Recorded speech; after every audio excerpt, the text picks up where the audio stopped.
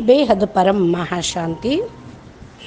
బేహద్ ఆత్మిక పరివారమునకు ఆత్మిక సోదరి సోదరులకు. బాపూజీ దశరథభాయ్ పటేల్ తెలుగు ఛానల్కు స్వాగతం. ఈరోజు మనము నారీ శక్తి గురించి స్త్రీలలో ఉండే శక్తి యొక్క వివరణ ఎలా శక్తి స్వరూపంగా ఉన్నారు ఉండాలి కావాలి అనేటువంటి విషయంను మనం ఈరోజు తెలుసుకుందాము. మనము ఆత్మ చాలా శక్తి స్వరూపంగా ఉన్నవాళ్ళమే. అయితే మనము ప్రస్తుతము ఆ యొక్క శక్తిని జ్ఞాపకం కోల్పోయాము విస్మృతి చెందాము. మనం దాన్ని మరలా పొందుతూ ఉండుటకే సాధన చేస్తూ ఉన్నాం. శక్తిశాలి ఆత్మలంగా కావటం కోసం మనం యోగంలో ఊపర్ డై పైన ఉన్నటువంటి డైమెన్షన్లోకి శక్తిశాలి ఆయాంలోకి వెళ్తూ ఉన్నప్పుడు అక్కడ ఉన్న ఎనర్జీని ఊహిస్తూ ఉంటాం. మనకు భలే జ్ఞాపకం లేకపోవచ్చు.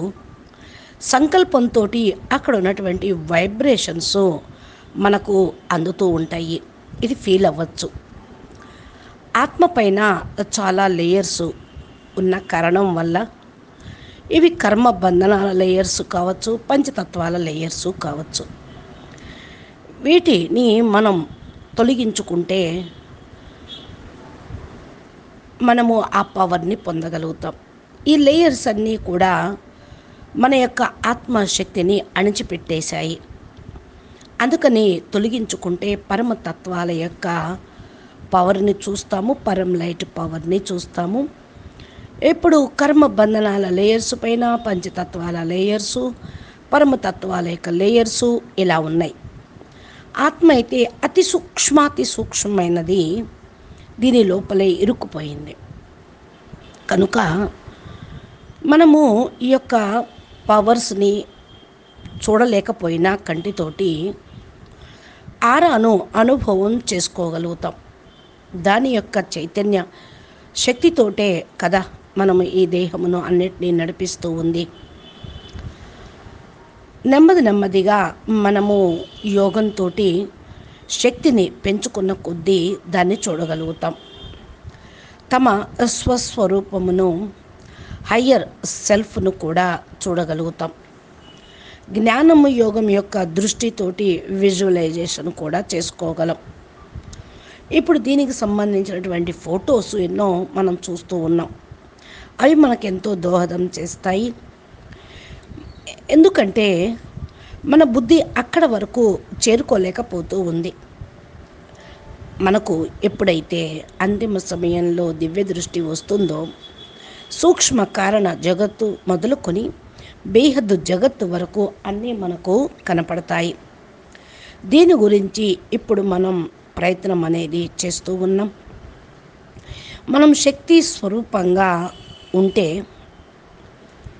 ఆటోమేటిక్గా మన పవర్స్ మనకు తెలుస్తూ ఉంటాయి. మన ఆత్మ పోగొట్టుకున్న శక్తుల్ని మళ్ళా ఛార్జ్ చేసుకోవాలి. ఇంకా మనము ఈరోజు నారీ శక్తి గురించి అనేది అనుకుంటూ ఉన్నాం. చెప్పుకోవాలి టాపిక్. నారీ మణుల్లో మనకు గొప్ప శక్తిశాలిగా ఉన్నటువంటి వాళ్ళు హిస్టరీలో జాగ్రఫీలో పురాణాలలో ఎంతోమంది ఉన్నారు. పురాణాలను తీసుకుంటే సీతామాత రుక్మిణీదేవి రాధాదేవి ఇంకా చరిత్రల్లో మదాలస ఝాన్సీ రాణి సావిత్రి ఎంతోమంది శక్తిశాలి ఆత్మలు మనకు కనపడుతూనే ఉంటూ ఉంటారు. ఎగ్జాంపుల్గా మనము రామాయణంలో త్రేతాయుగంలో సీతాదేవి గురించి చూసినట్లయితే ఆమె ఈ భూమి పైన ఏదైతే పాత్ర ప్లే చేసిందో దాన్ని చూసినట్లయితే ప్రతి ఒక్కరికి కూడా ఏదో కొత్త సందేశం అనేది లభిస్తూ ఉంటుంది. ప్రతి ఒక్క సంబంధాన్ని కూడా మనం అప్పుడు వేరే దృష్టికోణంతో చూడటం ప్రారంభిస్తాం. ఇప్పుడు చూడండి హనుమంతుడి కూడా అశోక వాటిక సీతాదేవి యొక్క అన్వేషణకు వెళ్ళినప్పుడు ఆమెను చూడటంతో ఈమె సీతాదేవి అని గుర్తించాడు. అంతక్రితం సీతాదేవిని హనుమంతుడు చూడనూ లేదు కలవనూ లేదు. ఎలాగ గుర్తించగలిగాడు అంటే ఆమె యొక్క ఆర? రాముడి ఎడల ఆమెకున్నటువంటి ప్రేమ నిష్ట వైబ్రేషన్సు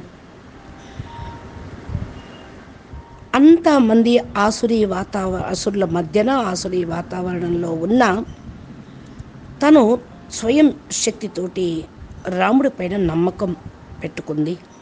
రాముడు వస్తాడు నన్ను విడిపిస్తాడు అని. అందరికంటే ఎక్కువ విశ్వాసము భక్తి సీతాదేవికే ఉంది రాముడి ఎడల. ఆమె జీవించినటువంటి జీవన విధానం ఆదర్శంగా ఉంటుంది. అదేవిధంగా రాధ కూడా వియోగంతో ఉన్న కృష్ణుడి పైన ఉన్నటువంటి భక్తి భావనతో ఆమె పొందినటువంటి అనుభూతి స్థిరత్వము మనలో కూడా ఆత్మశక్తిని పెంచుతూ ఉంటుంది.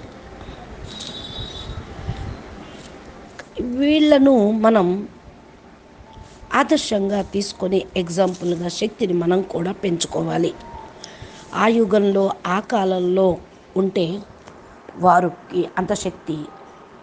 ఈ కాలంలో కూడా ప్రస్తుతం వర్తమాన సమయంలో మనకు కూడా ఎంతో అవసరం.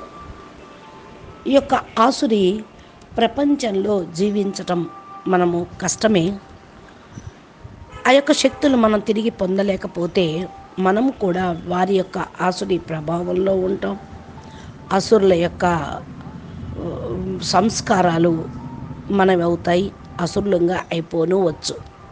ఎందుకంటే ఈ భూమి మీద దేవతా సంస్కారాలు ఉన్నాయి ఆసురి సంస్కారాలు ఉన్నాయి. మీరు ఏ శక్తిని పెంచుకోవాలనుకుంటున్నారు అనేది మీపైనే ఆధారపడి ఉంటుంది అని గీతలో కూడా చెప్పారు. మీరు దేన్ని పెట్టి పోషిస్తే అవి పెరుగుతూ ఉంటూ ఉంటాయి. వాటిని పోషించటానికి ఆహారం ఏంటి సంకల్పాలే. వైబ్రేషన్సే. ఏ విధంగా మీరు దేని మీద అటెన్షన్ పెడుతూ ఉంటారో చూస్తూ ఉంటారో అవే మీ లోపలికి వచ్చేస్తాయి. బాపూజీ కూడా ఆది శక్తి గురించి ఒక వీడియోలో ఇలాగే మంచి పాయింట్ చెప్పారు. బ్రహ్మ విష్ణు శంకర్లను నడిపించే శక్తి ఆది శక్తి అని. అయితే ఈ బ్రహ్మ విష్ణు శంకర్లు ఈ బ్రహ్మాండంలో ఉన్న ఈ బ్రహ్మాండానికి మాలిక్ శివుడు. మరి ఆదిశక్తి ఏ సూక్ష్మ తన యొక్క సూక్ష్మ శక్తితోటి ఈ బ్రహ్మాండాన్ని నడిపిస్తుంది. శివుడి యొక్క శక్తి లైటు మైటు అంటే ఇది అర్థమని కాదు. ఆది శక్తి అనేది బ్రహ్మాండానికి పైన ఉన్న మహాశక్తి ఏ ఆమె ఆకారి శివుడికి ప్రేరణ ఇచ్చి నడిపి నడిపిస్తూ ఉంటుంది సృష్టి రచన చేస్తూ ఉంటుంది. అవసరం తీరిన తర్వాత ఈ బ్రహ్మాండాన్ని వైండప్ చేయమని కూడా ప్రేరేపిస్తుంది. బ్రహ్మకు వంద సంవత్సరాలు అయిపోయిన తర్వాత మహాకల్ప ప్రళయం జరగాలి. చేసేది శివుడే అయినా శక్తి సంకల్పంతో చేస్తూ ఉన్నారు. ఇక ఈ బ్రహ్మాండంలో నవదుర్గల విషయంలోనూ ముప్పై మూడు కోట్ల దేవీ దేవతల విషయంలోనూ మూడు కోట్ల శక్తులలోనూ కూడా ఎప్పుడైతే వీరి యొక్క రచన జరిగిందో అప్పటి నుండి వీరి లోపల శక్తి అనేది ఉండనే ఉంది. భగవంతుడు కూడా శక్తుల్నే ముందు పెట్టారు. దీనికోసమే ఆ శక్తుల్ని క్రియే క్రియేషన్ చేయటం కూడా జరిగింది. క్రియేషన్కు కారణం అతి సూక్ష్మాతి సూక్ష్మమైనటువంటి శక్తియే. శక్తి యొక్క విషయం ఈ రోజు వరకు కూడా మనం చూస్తూనే ఉన్నాము వారి యొక్క విశేషత. ఈ ప్రపంచంలో ఎంత గొప్ప వాళ్ళైనప్పటికీ కూడా డబ్బుల కోసం ధనలక్ష్మిని చదువు కోసం సరస్వతీదేవిని శక్తి సామర్థ్యాల కోసం ఆదిశక్తిని దుర్గామాతను పూజ చేస్తూనే ఉంటూ ఉంటారు. ఎంత గొప్ప వాళ్ళైనా ఈ యొక్క శక్తుల ముందు తల వంచాల్ వంచుతూనే ఉంటూ ఉంటారు. ఇంకా మాతృశక్తికి గుర్తుగా ఈ స్థూల ప్రపంచంలో చరిత్రలో కలియుగంలో చెప్పాలి అంటే మదాలస ఉదాహరణ. మదాలస ఒక రాజకన్య గంధర్వ కన్య. ఆమె బ్రహ్మ జ్ఞానం కలిగింది. తన పుత్రులకు పుట్టుకతోటే గర్భంలో కూడా బ్రహ్మ జ్ఞానాన్ని బోధించింది అని అంటూ ఉంటారు. మరి రాజ్యాన్ని సంభాళించడానికి కూడా ఈ జ్ఞానం అవసరం. కానీ ఆమె ఎప్పుడైతే బ్రహ్మ జ్ఞానము చిన్నపిల్లలుగా ఉన్నప్పుడే పసికందులకు జోలపాట రూపంలో వినిపించింది. అది వింటూ పెరిగిన పిల్లలు పదమూడు సంవత్సరాలు వచ్చేటప్పటికి రాజ్యభాగ్యాన్ని వదిలేసి సన్యాస మార్గంలోకి అడవిలోకి వెళ్ళిపోయారు. ఇలా ముగ్గురు పిల్లలు వెళ్ళిపోయిన తర్వాత నాలుగో బిడ్డకు రాజు చెప్పిన మీదట ఆమె బ్రహ్మ బ్రహ్మ జ్ఞానము చెప్పలేదు. శస్త్రాల యొక్క జ్ఞానము చెప్పింది. రాజ్యాన్ని సంభాళించడం కోసం అంతిమంలో ఆమె మళ్ళా బ్రహ్మ జ్ఞానము ఇచ్చి వాళ్ళకు మోక్షం కలిగే విధంగా ఆ బాలుడికి కూడా ఉపదేశించింది. ఇలాగా తల్లి దగ్గర అన్ని రకాల శక్తులు ఉంటాయి వాత్సల్యము ప్రేమ కరుణ కఠినత్వము. అవసరమైనప్పుడు ఖాళీ రూపాన్ని కూడా ఎత్తాల్సి వస్తూ ఉంటుంది. ప్రతి ఒక్కదాన్ని బ్యాలెన్స్ చేసుకోగలదు. న్యూట్రల్గాను ఉండగలదు స్టేబుల్గాను స్థిరంగాను ఉండగలదు. స్త్రీలో ఏ ఏదనుకుంటే ఆ శక్తులు బయటికి తీయగలదు ఏదనుకుంటే అది ప్రపంచానికి చూపించను కలదు ఏమన్నా చేయగలదు ఈ ప్రపంచంలో అని కూడా మనకు అర్థమవుతుంది. ప్రతి ఒక్క స్త్రీ కూడా చేతానికి ముందుకు అడుగు వేయాలి. గురిణీలు గృహస్థంలో ఉంటూ కూడా ఆధ్యాత్మికంతో జోడించబడి పిల్లల యొక్క భావి భవిష్యత్తును తీర్చిదిద్దాలి. అందుకని మహిళలు జాగృతం కావాలి. విశ్వ పరివర్తనకు బాధ్యతను వహించాలి. నిశ్చయం అనేది ఉంటే పరమాత్మ మీద ఆధ్యాత్మికం మీద మీ జీవితం కూడా నిశ్చింతగా ఉంటూ ఉంటుంది. నెక్స్ట్ చరిత్రలో ఛత్రపతి శివాజీ తల్లి జీజీబా జీజాబాయి చాలా దేశభక్తురాలు వీరాన్ని రాష్ట్ర మాతగా గొప్పగా ప్రసిద్ధి చెందింది. ఛత్రపతి శివాజీని దేశభక్తుడిగా నైతిక చరిత్ర కలిగిన తీర్చిదిద్దింది. ఈ బీజాలు చిన్నప్పటి నుండి వారిలో నాటింది.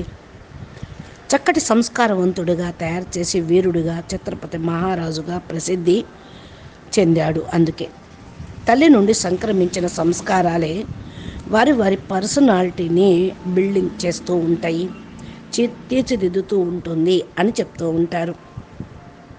ఇంకా శక్తిశాలి వీరాంగాణి లక్ష్మీబాయి. ఒక ఆమెగా చెప్పుకోవచ్చు నారీ శక్తి. జాగృతం చేసుకోవాలి. అందరూ కూడా బలహీనతల నుండి విముక్తి పొందాలి. ఆత్మబలం పైన ఆత్మవిశ్వాసంను పెంచుకోవాలి.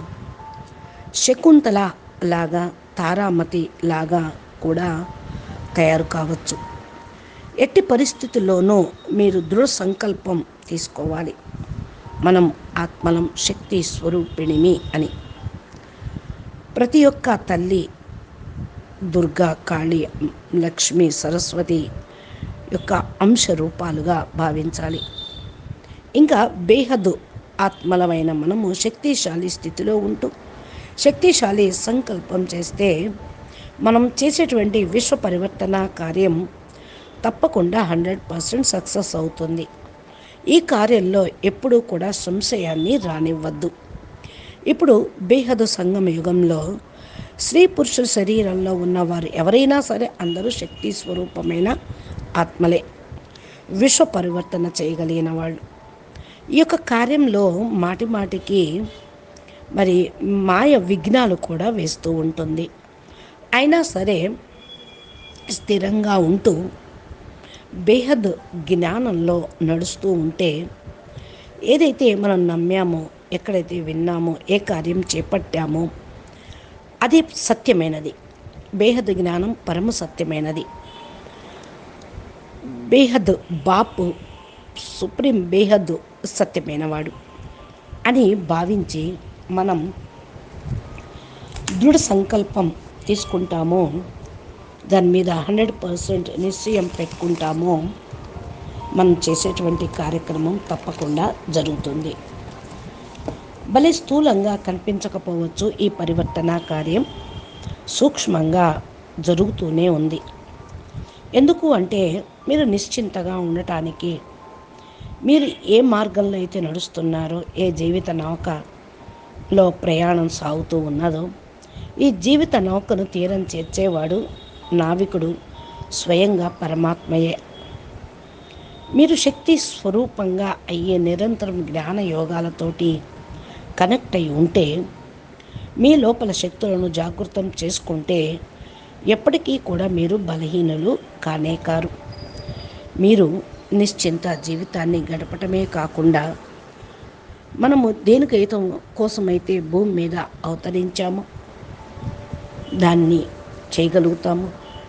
ఇప్పుడు లేడీస్ ఫస్ట్ అంటూ ఉన్నారు. ఎక్కడైతే స్త్రీ గౌరవించబడుతుందో అక్కడ స్వర్గం ఉంటుంది అంటారు. మన భారతీయ సంప్రదాయంలో సంస్కృతి సభ్యత కూడా మాతా ప్రథమ గురుగా అంటూ మాతాపితలు అంటారు. సీతారాములు అని రాధాకృష్ణులు అని లక్ష్మీనారాయణులు అని పార్వతీ పరమేశ్వర్లు అని మనకు ఆది దంపతుల దగ్గర నుంచి దేవతల దగ్గర నుంచి స్థూలంగా కూడా మనకు స్త్రీని ముందు పెడుతూ సంబోధించటం అలవాటు. కాబట్టి ఏ ఇల్లైనా సరే మరి స్వర్గసీమగా అవుతుంది అంటే అక్కడ మాతృశక్తి అనేది గుర్తించాలి.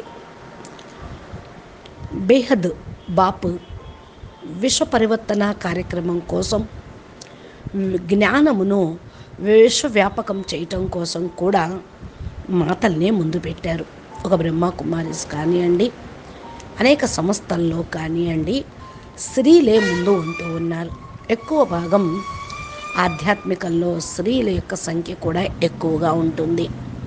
వీరిలో ఉన్నటువంటి దివ్య గుణాలు స- బ్యాలెన్స్ చేసుకున్నటువంటి సంస్కారం సహనము ఓర్పు ప్రేమ ధైర్యము సర్దుకుపోయే తత్వము సహనశీలత యొక్క శక్తుల రూపంలో ఇవన్నీ కూడా స్త్రీలలో ఉంటాయి. అట్లా అంటే పురుషుల్లో లివ్వని కాదు ఇక్కడ స్త్రీలు పురుషులన్న భావన కూడా కాదు. శరీరం యొక్క తొడుగు విషయం కాదు. ఆత్మ యొక్క స్వరూపం విషయం. ఎవరైనా ఈ గుణాలను పొందిన వాళ్ళు యొక్క విశ్వ పరివర్తన కార్యక్రమంలో సహయోగిగా కాగలుగుతూ ఉంటారు. కాబట్టి మనము ఏదైతే తెలుసుకుంటూ ఉన్నామో జ్ఞానాన్ని దాన్ని ఆచరణ చేయాలి. దైనందిక జీవితంలో ధారణ చేస్తూ అందరికీ ఆదర్శంగా ప్రేరణాత్మకంగా ఉంటే ఇంట్లో తల్లి మారితే పిల్లలు మారుతారు కుటుంబం అంతా మారుతుంది అనేటువంటి విషయాన్ని రుజువు చేయగలుగుతూ ఉంటారు. అచ్చా పరం శాంతి నమస్తే ధన్యవాదాలు. బేహద్కే బేహద్ పరం పరం పరం. మహాశాంతి హై మహాశాంతి హై మహాశాంతి హై. నమస్తే. బాపూజీ దశరథభాయ్ పటేల్ తెలుగు ఛానల్లో బాపూజీ అద్భుతమైనటువంటి జ్ఞానము బేహద్దు సృష్టి యొక్క ఆది మధ్య అంత జ్ఞానమును మా యొక్క అవ్యక్తవాణిలు దివ్య సందేశాలు పురుషార్థానికి సంబంధించిన ధారణ points live meditations live speeches వేదాలు శాస్త్రాలు పురాణాలు ఉపనిషత్తుల యొక్క సారంను మనకు వీడియోల రూపంలో అందిస్తూ ఉంటారు. మీరు మా ఛానల్ని సబ్స్క్రైబ్ చేసి గంట సింబల్ని ప్రెస్ చేస్తే నోటిఫికేషన్ రూపంలో మీరు వీటిని పొందవచ్చు. మా యొక్క ఛానల్ ప్లేలిస్ట్లోకి వెళ్ళి చూస్తే విడివిడిగా మీకు ఏ టాపిక్ కావాలంటే ఆ టాపిక్ వీడియో హెడ్డింగ్ తోటి మీకు కనిపిస్తూ ఉంటాయి. ఈ వీడియోల ద్వారా మీ జీవితాన్ని మీ ఆత్మశక్తిని ఆత్మస్వరూపమును పెంచుకుంటూ శక్తి స్వరూపంగా ప్రతి ఒక్క ఆత్మ స్త్రీ పురుషులు పిల్లలు బాల్యం యవ్వనం అందరూ కూడా ఒక వయస్సు అని కాదు అందరూ శక్తిశాలి స్వరూపంగా కాగలరని ఆశిస్తూ ఉన్నాం. నమస్తే ధన్యవాదాలు. పరమా శాంతి.